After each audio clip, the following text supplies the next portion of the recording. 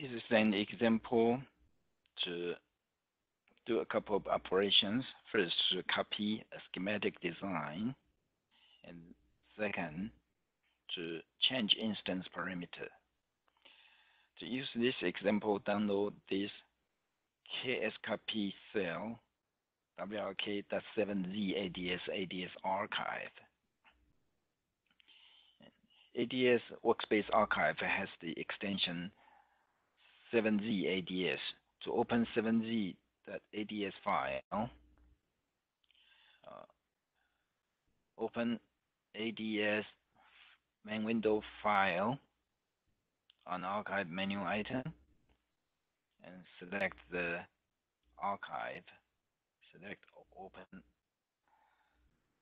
And then select a destination directory and then click finish the archive is open. And this example has an, a readme file. And to use it you can read through the readme file and then open this uh, test one. What, what it does is that it copies this cell into a number of cells. The number is determined by how many S2P files found under the data directory. In this case, five of them. So it will copy this cell into one cell and then replace the value of file with the SMP file name here and then repeat for each one of them. So let's see how it works. Uh, in the in the main window, select library view and then expand the AEL files. The function is defined in this kscopy file. Select the AEL file name, right click, and then select the load command in the pop-up menu. Copies the test one into test and then followed by the SMP file name RC1, test RC1, and then replace this the value of file to RC1 S2P and then the, for RC3 it replaces the value of file RC3.S3P. In addition, it also creates this uh, MEAS1 uh, measurement equation uh, item with two measurement equations. Let's take a look at the code.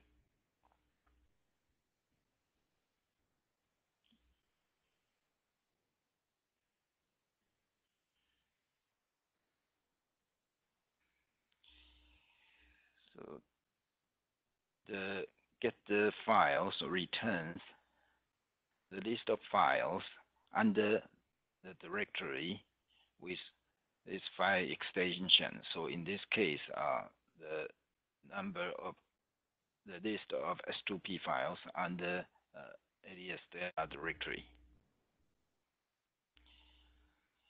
And in this while loop, uh, it iterates through each of the file using this car and cadr.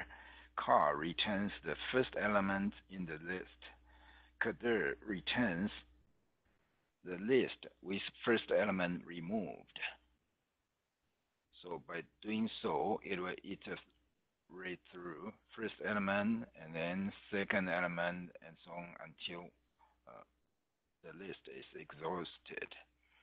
And the key function to copy cell in this function is d copy cell that copies from library cell to library new cell name.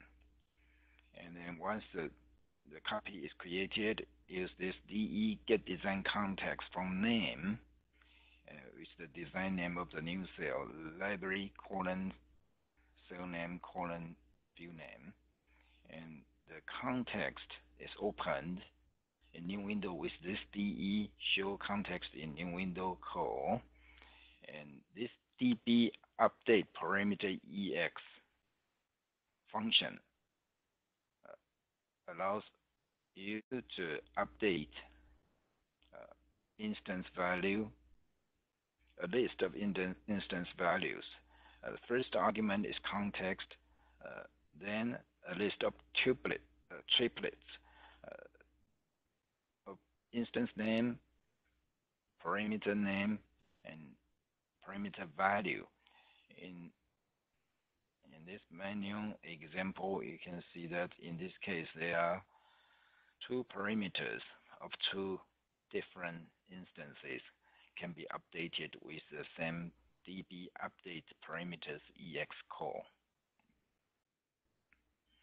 And this another function that you can use to update uh, instance parameters, de set item parameters. This one takes a complete list, complete list of parameters in exact order.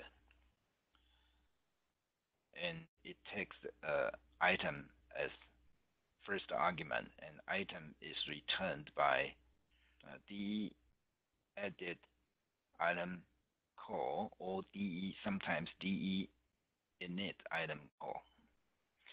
So in summary, this function